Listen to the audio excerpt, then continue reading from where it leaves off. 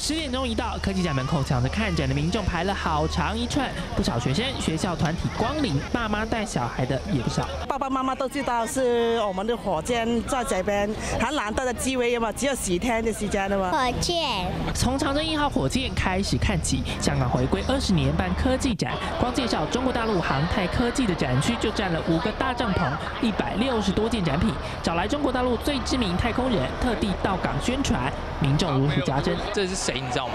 港丽文。对所有的航空军事迷来讲，来到这个科技展，两大看点，一个是我们现在看到的天舟一号，它是一比二的模型；另外一个是我右手边的这个神舟十一号，它的这个返回舱可是实体。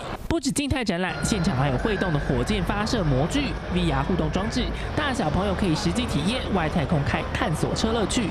来自大陆的大妈则对在外太空种出的巨型南瓜最感兴趣。